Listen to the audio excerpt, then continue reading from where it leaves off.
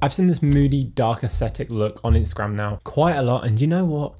I quite like it. It suits my kind of vibe. It's minimal, it's clean looking, it's got that monochrome kind of look, but it's also quite functional. In today's video, I'm gonna show you how you can achieve this look in CapCut, which is completely free by the way. But I'm also gonna explain why it's more than just a look. It actually has a functionality behind it. Although this aesthetic tone might only just be a look, it does actually serve a purpose. When using captions, when using some form of text on screen, it allows that text, especially when you're using colors like white, to pop more. The darker the background, the more your text is going to pop. So by using this dark aesthetic tone, it not only gives your image this clean, minimal look, but it also makes it much easier for your viewer to read the text on screen. There's a few different ways you can go about achieving this look, so I'm gonna break that down now. The first way is actually not using CapCut at all, and it's actually just using your iPhone or using your camera. And all you're gonna do is you're gonna bring down the exposure. So by using your iPhone, all you need to do is click on screen, drag the exposure down and this will essentially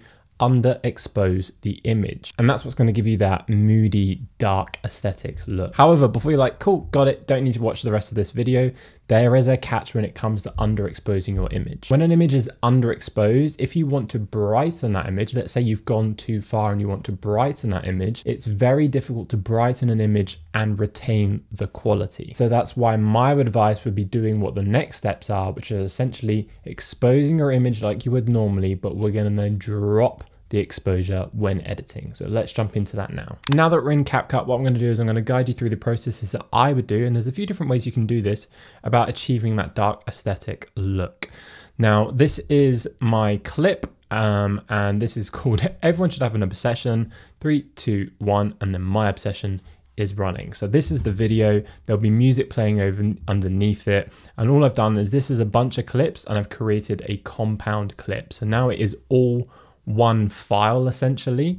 So now when I make an adjustment, it's going to adjust all the clips, but it makes it a lot easier. If you don't want to do that, you can simply just add an adjustment layer over the top. So you just click adjustment, custom adjustment, drag this over the top, and then any adjustments you make to this will affect everything underneath it. Um, but all I've done is I've created a compound clip because it's easier. So we're going to use something called a hero shot, basically the one shot that we're going to use as like our base. So I'm going to go with this one here. So let's just find a nice spot. Now, what you will notice with this clip is it's it's dark in some areas, it's light in some areas. So for example, that's light, that's light.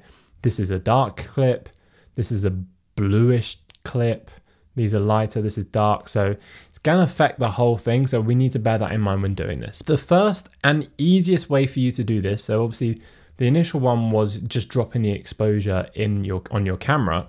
The next way to do this is we go to video up here and all you do is you grab your opacity and you pull it down. and it's that simple. And then you've you almost instantly got that dark aesthetic look. So if you're like, do you know what, I just want a quick fix, then that's the way to go about it is drop the opacity. I'd say 50% is like that sweet spot. Anything other than that, obviously that's way too dark. That's really dark and contrasty, but 50% is that sweet spot. And if we scroll through the whole thing, the whole thing has now got that dark aesthetic. So that's option number one, if you want to do it that way. I'm going to bring this back up to full 100% um, opacity. I'm going to go back to our hero clip. Option number two. I'm going to go over here to media and I'm going to go to library and you'll see up here there's just something that's called black. I think that's literally all it's called. Drag that over the top of the clip. So now we just got this black square, which doesn't look great obviously. I'm going to rotate it 90 degrees. I'm going to make sure it fills the whole frame like so. And then the alternative way is now we're going to drop the opacity of the black, um, the black box. So we'll just drag that down. So now we can pull that down to say 50%. So they both kind of achieve the same look. And I'm going to give you the final way you can do this, which is now if we delete the black box over the top, and this is like the full, the pro version. Um, so we're going to grab our clip. Obviously this is a compound clip. So remember any adjustments that we make here is going to affect the entire video. We're going to go to adjustments over here and we've got all of like our controls with regards to the brightness, the contrast, highlight, shadow, so on and so forth. So we're going to drop the brightness down, but you can see it gives it sort of a muddy look, which isn't great. So I'm going to pull the exposure down or the brightness down, but then I'm going to lift the highlights ever so slightly to about 25. To be honest with you, there's no real like formula here. There's nothing where I'm like, this is the way to do it. You want this, you want highlights on this number, you want this on this number because all of your images are going to be exposed differently. The way that you expose it is going to be different to the way this is exposed. This was shot in daytime, your video, your clip might be shot in nighttime. So this is literally just trial and error on what works. So shadows, if I pull those down, it looks too contrasty for my liking. If I pull the whites down, whites has a good effect. Like that gives us that effect, right? So I'm going to pull that down a bit. Let's pull it down to like 20%. So now we've pulled down the brightness, we've lifted the highlights because we bring those down, then it's too dark in my opinion. So we've lifted that to give a bit of life back into it. And then we've pulled the whites down, which has a nice impact on it. So that's the alternative way which you can go about it, which again gives you that darker look. And then the final tweak that I would do here is that I would actually then go over and manipulate the colors. So if we go to the HSL, we've got reds, we've got orange, we've got yellows, we've got greens, blues, purples, and magentas. Now, the oranges you and the reds on most occasions you want to stay away from because that's where your skin tones lie. So if you look at my skin right now, it's going to fall in that orangey yellow sort of vibe. Um, so we don't want to pull down our oranges because if I pull that down, I turn into a ghost. so we don't want to touch those. But what we can do is we can pull the greens away a little bit in terms of saturation. We can turn pull the blues away a little bit maybe a touch more, like that. And then the problem with pulling the magentas is I've played around with this clip before, is if I go over here, like for example, this clip here, look how ridiculous I look. I look like I'm dead. Um, and the reason that's happened is because this clip is shot at nighttime and there's a lot of blue at nighttime. So if I pull that back in, that back in, and then pull some, maybe in sometimes the green, I come back to life a little bit. So it's just being aware of these things. Like the, if you don't want to have a compounded clip, then you can manipulate each individual image. Um, so for example, those those changes there would have been great for all of these clips, but it didn't work for that one. So it's just being aware of that. But I would typically reduce the greens because I just don't like greens that much. Um, and normally maybe pull away the yellows a little bit.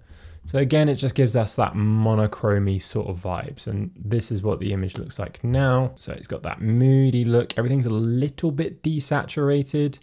And then we go straight into the clip again. So look, the blues there for me are a bit too bright. So if I really wanted to like be specific about it, I'd go into that individual clip and reduce the blues because if I reduce the blues on the whole thing, then it would have an impact on this clip, which is to blue. And there we go, there we have it. So now if we go to the back to beginning, if I remove this black box, see much more that like that text pops?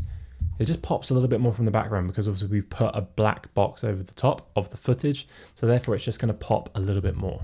Um, and then that's what it looked like. That's the end product. So we got three, two, one, and then it would just go with bum, bum, bum, bum, bum, bum, bum. And it's got that like moody, dark aesthetic. So there you have it. That's how I go about creating that sort of dark, moody aesthetic look when it comes to Instagram reels like that. Obviously, when I'm doing a talking headshot like this, when it's on my Instagram page and I'm doing educational based content, I'm not going to have that look because it just looks weird. But maybe when it's inspirational or motivational style content, I'll sort of incorporate that tone, that that mood, that look. I didn't want this video to be too long. I literally wanted to get straight to the point. So hopefully that gives you everything you need. If you have any further questions, then please put them in the comment section down below. And I shall see you lovely lot in the next video.